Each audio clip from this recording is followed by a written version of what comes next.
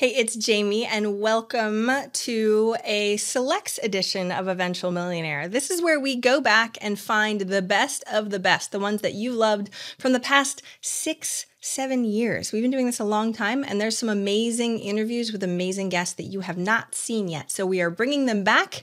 It is the selects edition. Let us know what you think, and I hope you enjoy potent advice, and inspiration from real self made millionaires. Welcome to the Eventual Millionaire with your host, Jaime Masters.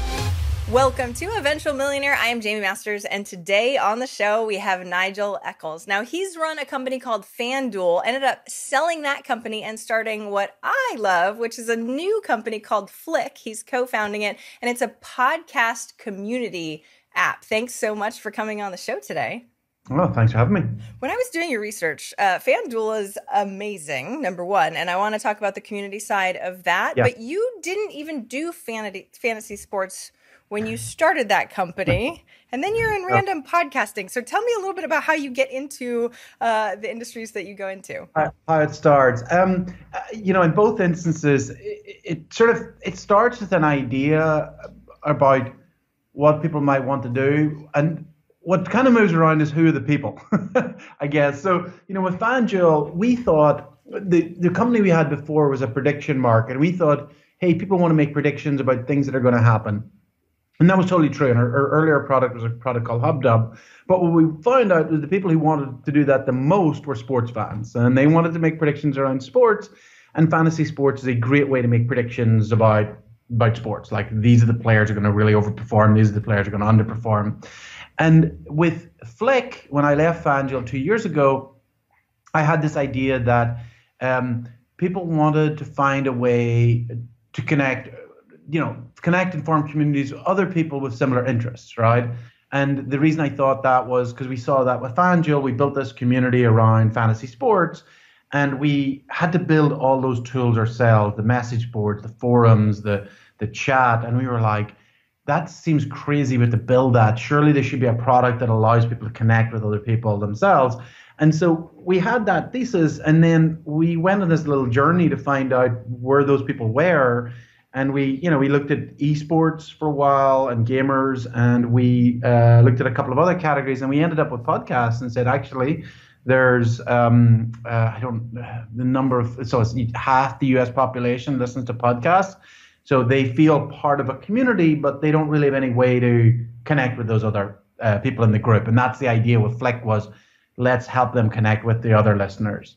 See, I love I love that you said esports because there's so many trending communities right now, mm-hmm. and I feel like no offense to us poor sad podcasters, we get sort of left in the in the dust, right, with Apple and totally. everything else. Yeah. Oh yeah. So the tools that was part of the reason we came to podcasting because we went into po- uh, esports and we what we discovered was the tools that they have in po- uh, esports like Discord and Twitch are really good. and you know, when I came to when we looked over at podcasting, we were like, oh boy, you know, this this is not this is a, a poorly served uh, community. And so if we could build something that actually was like a Twitch for podcasting, that would be such an amazing experience. Okay, so tell me more about the actual program and product because I agree with it, it I remember back in the day I was going like, why can't we? Why can't we make this connection? I'm a geek. I have a degree in computers. This just yeah. doesn't make any sense. So, so tell yeah. me a little bit more about, about, what the app actually does, so everyone can hear. Sure. Yeah. No. Absolutely. So you know, I, I guess a way is to um, to think about it is it is like uh, if you're on Slack or Discord. So Slack, uh, people use a lot of work. It's a way to communicate with a large number of people, and, and so it's like that, but it's built for podcasts. Um, and so within the app, you can listen to the podcast like on another one of the dozens of other players, but you can also send uh, do sort of text-based chat either with the hosts or with other people who are in that community. Um, and so when you come into the app, you basically either you can select play podcast. I'll play the most recent episode, and even when you're playing it, you can immediately go into one of the topics, and someone's discussing the most recent episode, and they're chatting away about that, or they're chatting away about their job. People are chatting about work, weather, their pets, uh, whatever the issue is, and so that that's and that's all captured within a native app. So it's an iOS or Android app. And so, what's the goal with? I mean, I kind of get it, but mm-hmm. tell me what your goal is in regards to sure. uh, creating those communities. Yeah. So our goal, and the, one thing to be clear about the way we've done it is there's kind of two ways we thought we could do this. One way to do this was to try and sort of bring every podcast on and then have community on every podcast. And we've seen some people try to do that, and that doesn't work very well because you go in and you go to a really big podcast and you say, wow, it's great. I love this podcast. And there's like one other person there and there's no community. And so the way we're doing it is is that we're just going podcast by podcast. Now that might seem slower, but it's a much better experience in that we will take take Snapback Sports. It's a uh, it's fairly small uh, sports podcast focused on people sort of in late teens, early twenties. Um, we brought them onto the platform. They have about 8,000 people in their group. Um, so it is a super active, busy, exciting group. And so they bring their fans into that group and engage with them. Um, and so what we're doing is then going from there to sort of other sports podcasts.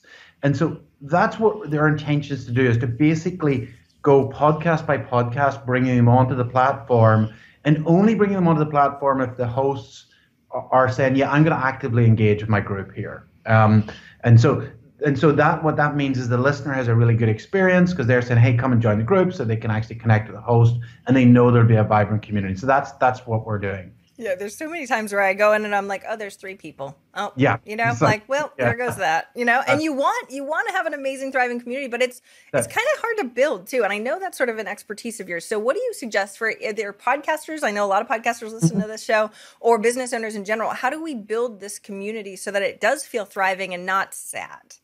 yeah, it's, it's it's a really good point, and you know, podcasters start at a good place in that you have an audience, you know, you have a following but you don't have a community. And, and a community, in, in my definition, is where you have one to one interactions between either the host and the community and between the community and other members of the community. That's when it becomes what you describe as community and not just a, a listenership.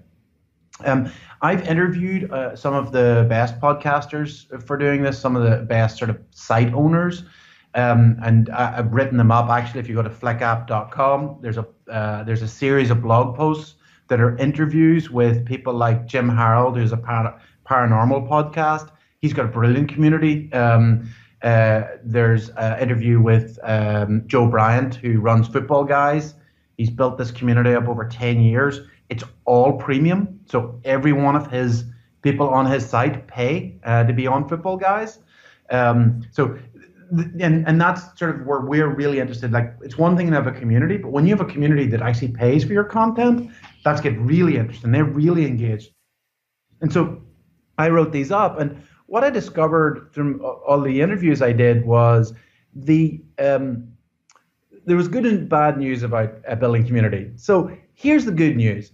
It's it's actually not that hard. it's not that sophisticated. There isn't really any kind of secret to it the bad news is it takes a lot of work. Um, oh, man. It, yeah, it takes you know it takes time and investment. It takes you know, every one of these. And so, for example, Jim Harold, good example. I said, "How did you build community?" He said, "By exchanging emails with my followers every day." And so he would maybe do like hundred emails a day. People, so he does paranormal. People who have experiences, he would email him. He would reply. Um, and then people would become lifelong fans, right? Because he's the host of the show. Um, uh, Jim Bryant of Football Guys, very similar. He he built it on email. Um, people he would he's got a fantasy sports advice site, and people would want to know like, should I pick this guy or this guy? And and Joe would be the guy that kind of would pull that together. But now he's got this really really vibrant community. Um, and so pretty much uh, there's that that's sort of one set. True crime obsessed is another one that's built a community. I don't think they were so much email based but they uh, they actually did it on facebook. Um, uh, but they definitely did it with a lot of engagement. Uh, a lot of engagement. They were very much out there in the audience and the audience sort of felt a connection with them and that sort of built up that community.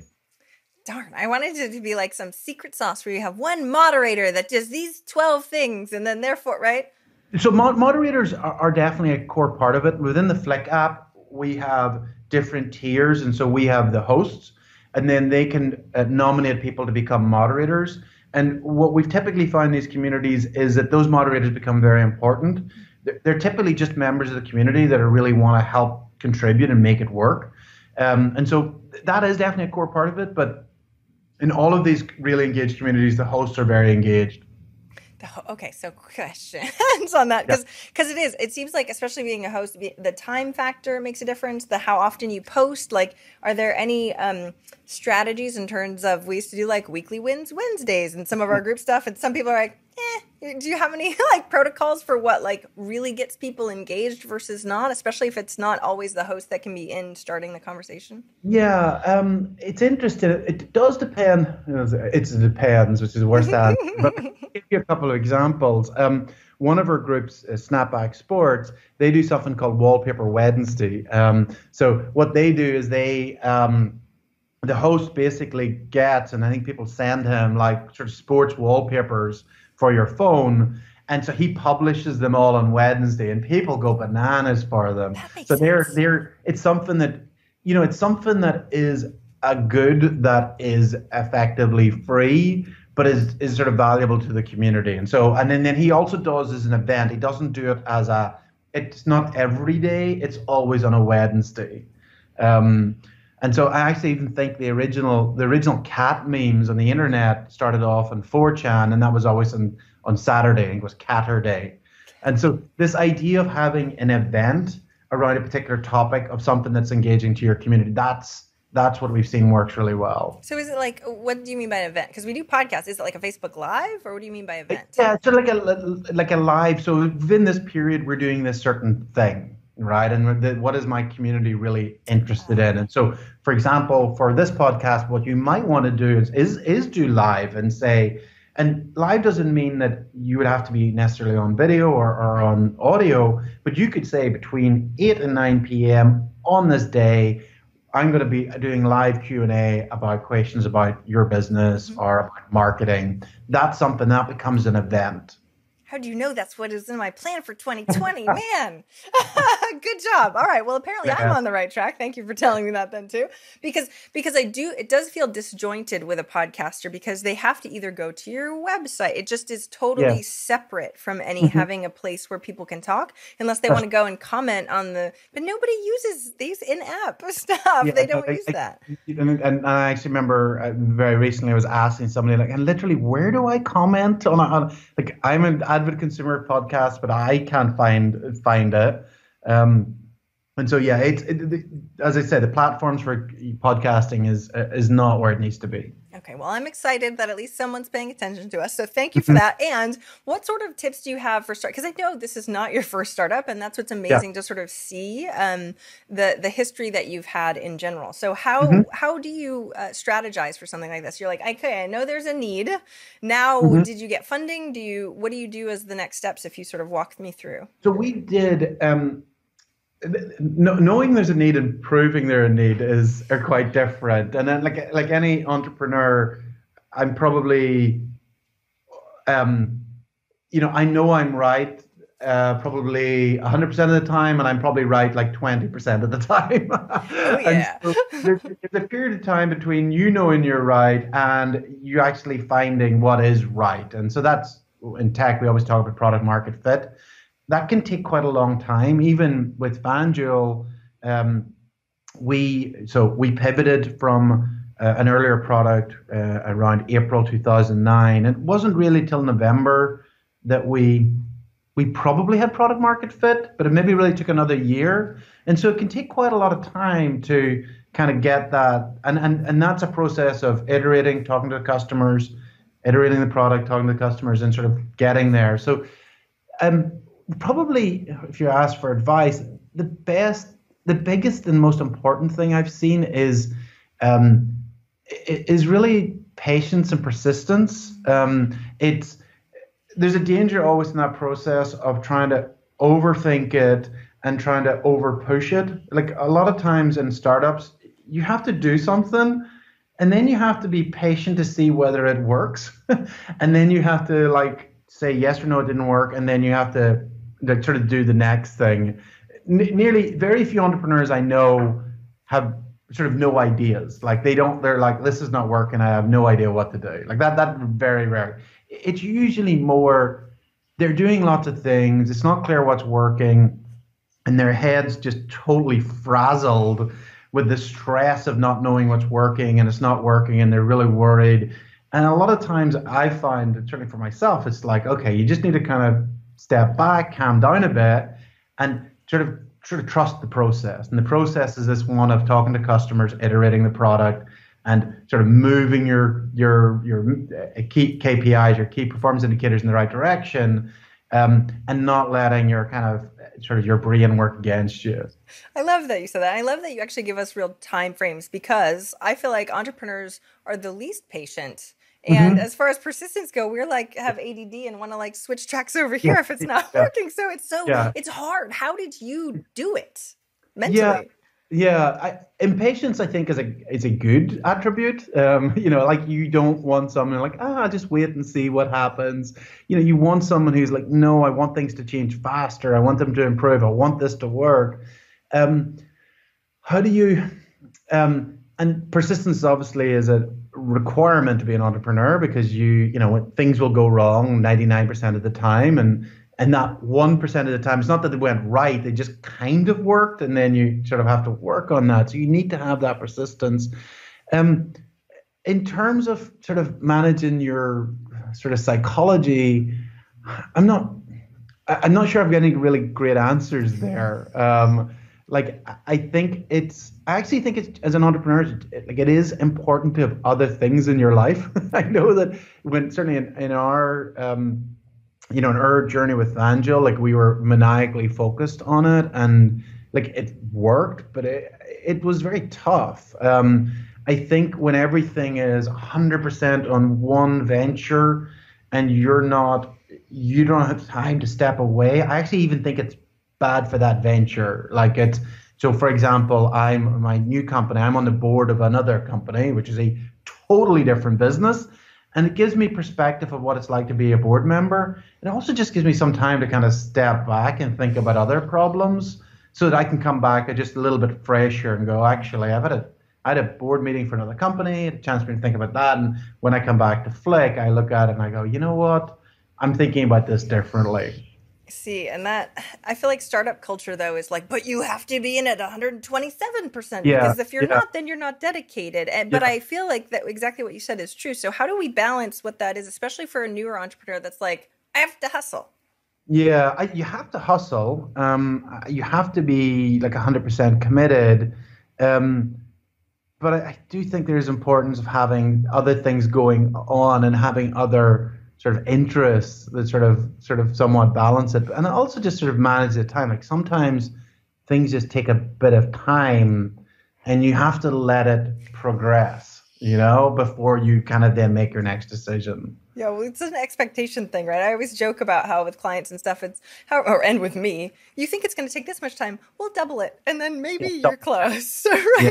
Uh, absolutely. It's so. What have you found, especially because you've grown something that's so massive that did it ever feel like it wasn't growing very fast? Did you feel like your expectations were totally wrong? Like, tell me more about mm-hmm. that specifically. Yeah, like it's you know it's funny. So FanDuel is a multi-billion-dollar company, uh, but I, I like to tell people we were at least two years behind budget in our early years. you know, so it was like we weren't even close. Um, and I remember like we just had series of budgets that we would miss. And it's because things just took a lot longer. And and what I kind of keep pointing out to them is that this became a billion dollar business. We started in 2009, uh, sorry, uh, 2009, and we became a billion dollar business in 2015. So this is six years.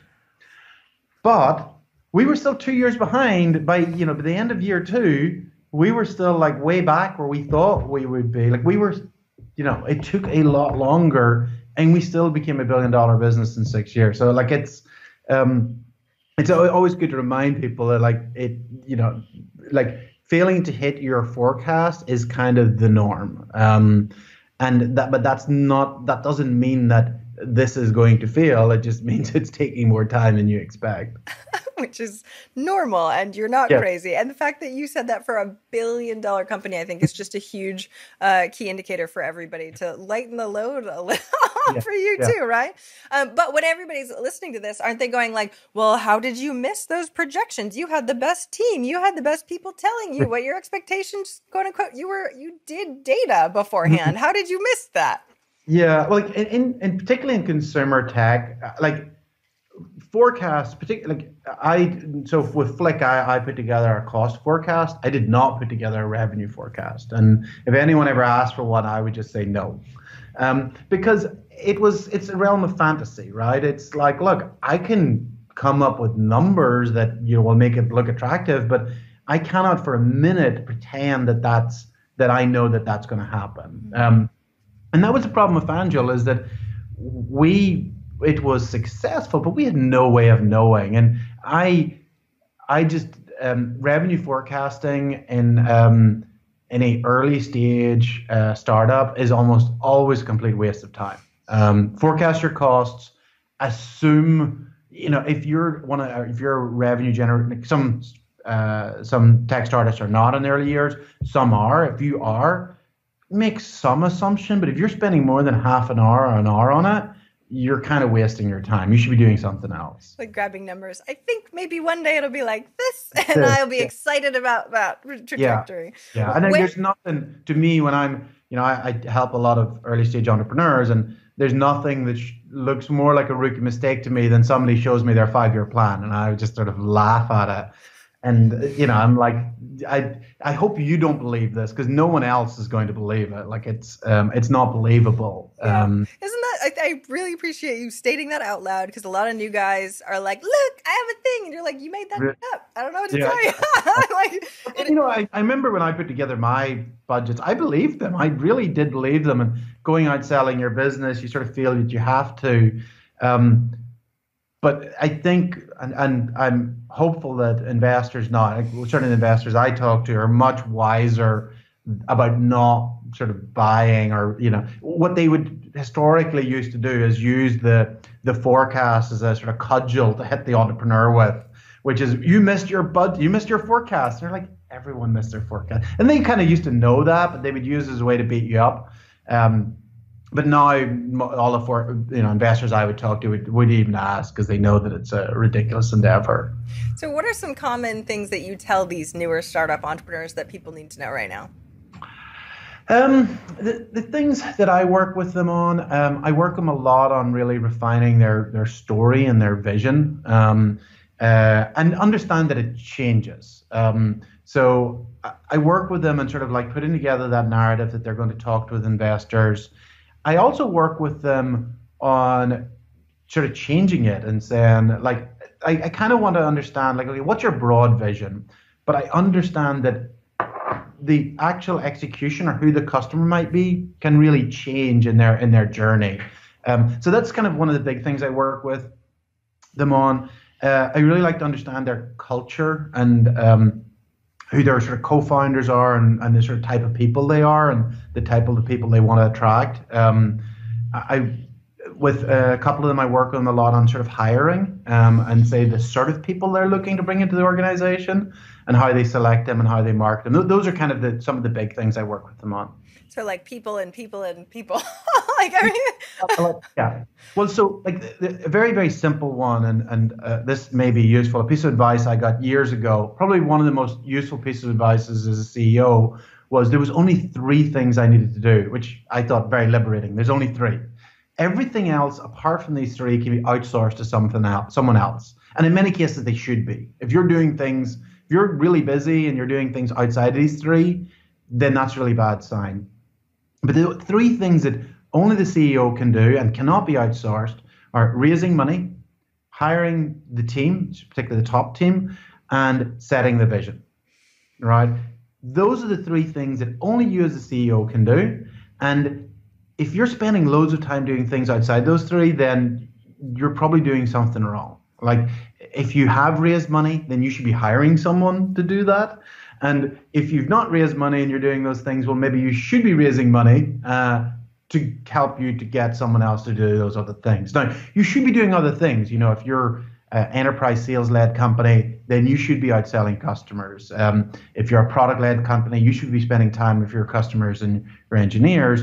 But if we go back to those three, first one, raising money. Only you can raise money, uh, particularly early stage. You know, much later stages, you might work with a banker, but in early stages, only you can go out and sell people, convince people to give away their money in return for a stake in some some dream, um, and that you're going to deliver it. Only you can do that. Um, only you can hire the, the very best people that you can get. Um, you can't really give that off to someone else. A recruiter's not going to do it. You speak to any entrepreneur, they will say the very best people have always come through their own network um, as opposed to through recruiters. Uh, and then the, the third one is setting the vision. No one, no one else can set the vision. No one can else can sort of articulate where the product and the company is going. And so those are the three things you need to be doing. And, and it's, it's kind of liberating. You think, well, I only have to do those three things well. And I know CEOs are really good at doing those three things and they suck at everything else and they build very successful companies. And so that's the useful thing about it. Oh my god! And everyone's like wiping their brow, going, "Okay, phew. At least I three th- that does it makes it a lot more containable, right? At least easier. absolutely. Give me some tips on visioning then, especially this is going to go live in January 6th in 2020, and that everybody's going to be like 2020 vision. How long do you vision? Do you have any resources or books that you recommend? How do how do you do it? Yeah, so we it's so visioning. I don't think as much of it as a process. I, I kind of think more of the. For me, visioning is really getting to know the customers, getting to understand the area. Like so, podcasting. I was fairly new to it, talking to lots of podcasters, uh, talking to listeners of podcasts.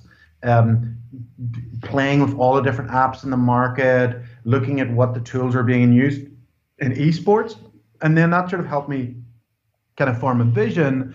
But more important for me was sort of objective setting. So vision is kind of big, and it can move around as well uh, as things develop, and we find out that you know one set of users this product doesn't really work for, and maybe we we change the vision.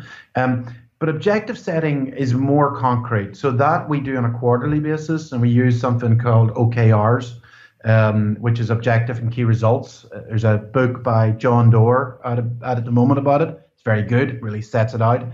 What I would say for any startup is put it in early um, because uh, well, one, when you put it in early, you really get that you get the benefit of it, and it basically says, what are we going to do this quarter? And it's it's actually quite simple. You basically just say three things we're going to do this quarter, and they have to be measurable, right? You can't have like you know, you know, keep everyone happy, or you know, they have to be like we're going to sell this much we're going to score this on this match. We're going to do this.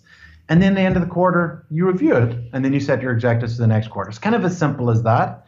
But it's a really nice way at the end of the quarter of going, you know, okay, did we have a good quarter or a bad quarter? Because like a lot of things kind of change around, and you're like, okay, yeah, we did. We said at the start we were going to do this, and we managed to do it, or no, we didn't quite. Why did we miss it? Did we did we not work hard enough? Did we do the wrong things, or was it the wrong objectives? Um, so those OKRs are really important. The reason, the other reason I say do it early is with FanDuel, we try to put it in later, and it was murder. Like when when you kind of have been running the company for several years in a different way, and then you say now we need to do quarterly OKRs. I remember the first quarter, it took us a month. It took us three months to set our objectives for the quarter. you know, like it was the very first quarter, like it because they they just felt it was such a huge process and no one wanted to sign up to anything, and so it was like the last day of the quarter, like here's objectives of the quarter, and we hit them. and then the next quarter, I remember we. I think we were better getting them done, but we didn't even review them until the very end of the quarter. And so it took us probably well over a year to kind of get it in. And I thought this is terrible. Like we must be such a terrible organization. And I spoke to a few other entrepreneurs, and they said they had exactly the same experience. Like once, if your company hasn't got it in it, it's very hard to put that OKR process in. Yeah, and to give everyone a break too, because it, it sounds like, oh, it's not rocket science. We should be able to get it like this, and then our expectations are not aligned with how long it's going to take everybody to do it anyway. Yeah, right? get it in from day one. It's a very simple process, um, but it really just says, what am I going to do in the next three months, and then what am I going to do after that?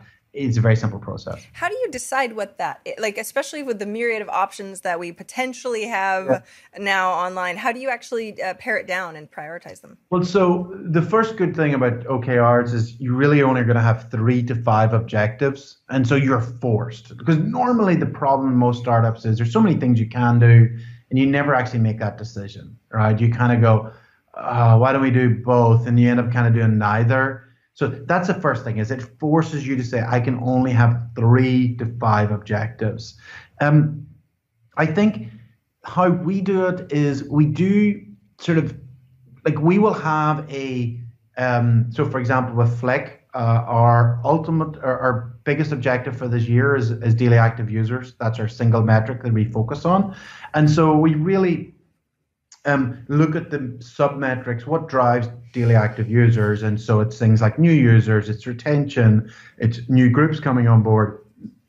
And so that kind of helps us having that, you call it a true north, a single metric that you're focused on. And then the OKRs are what are the things that are going to drive that? What's the most important things? That makes sense. And it breaks it down, and then you can get data from that and readjust as you're going along uh, anyway. Yeah.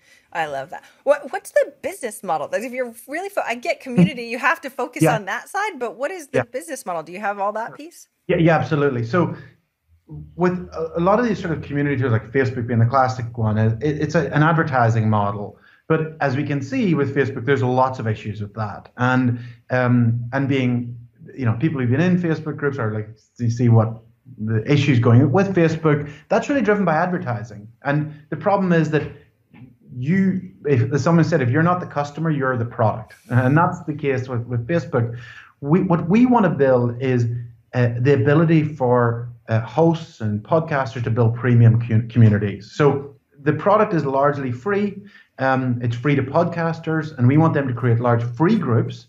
But we want to say to them say look actually some of you actually want more content more engagement and for that, that's going to be a premium experience. And we support that. And so we charge a platform fee and we process those payments. That's our ah. business.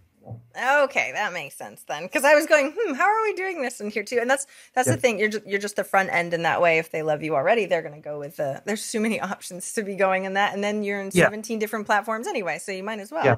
So, like an example in the esports world, Twitch um, Twitch is a platform for game streamers, um, and if you love that streamer, you might uh, become a subscriber. You might tip them. Um, Twitch processes that and then passes uh, a percentage. You know, they, they they pass it through to the streamer and they take a percentage as a platform fee.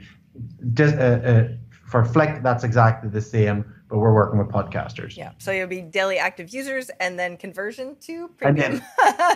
Then, yeah. So okay. what next year, what we're going to do is we will start to move to two metrics, which one will be user growth and the second one will be conversion to premium. Yeah, that's awesome. I love that I could predict it for you. That makes so much sense. Two things. That's it. Nice and easy. I love this. I know we have to start wrapping up because you have a hard uh, stop time, but what is one action listeners can take this week to help move them forward towards their goal of a million?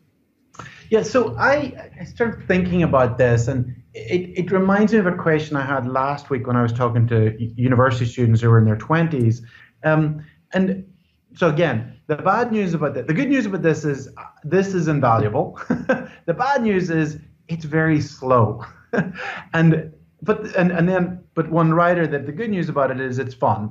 And so the piece of advice that I give them is invest in your relationships with the people you work with particularly the people you want to work with, not just for the next couple of days or months or years, but like for the rest of your career. Um, when I look back over my sort of 25 year career, I've had people who've, you know, where one stage was my boss, and then you know they left, and then I went and worked for them again, uh, or then some of them were peers, and then I hired them to come and work for me, or um, one case, a couple of them was my boss, and then he became an angel investor in my next company, um, and that has been invaluable to me. In fact, you know, my team here um, uh, with Flick, uh, so one of my my co-founders, my co-founder, my previous company, uh, one of my key employees here worked for me at my previous company. Um, another company that I'm helping set up is uh, somebody who was just a mentee for a long time, and uh, we're actually going to start a company together. So investing in those relationships, to me, is as is a very I think it's a very sure payoff. It's a very long term payoff, but it's also you know something certainly I enjoy doing, and and I think that's the most valuable thing. I think it's fun too. Awesome. We'll go. Mm-hmm. Now it makes us feel like we have ROI for the stuff that we like to do anyway. Yeah. So I yeah. appreciate that so much. Tell us where we find Flick, how we download it, make sure everybody yeah. gets on on board. Yeah. So uh, if you uh, on the App Store, if you search for Flick Chat, uh, you will find the uh, the app. You can find more about us at flickapp.com, um, and you can find more about me if you. Uh, I'm on Twitter. I'm Nigel Eccles on Twitter. We will definitely link everything up, and let's make his his uh, daily active user metric go up. Come on, people, go go download it right now. Thank you so much for coming on the show today. I really really Thank appreciate you. it. If you enjoy this show, I would really appreciate your wonderful words of feedback. Go leave me a review. I would love a rating, whatever you can do in the time that you've got. I would so appreciate it.